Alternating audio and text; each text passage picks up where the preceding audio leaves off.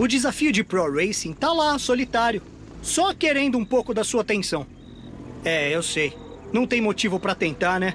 São só os carros mais rápidos do mundo, e barcos de corrida, e um novo avião, e. Oi? Ok, ok, eu vou calar a boca agora.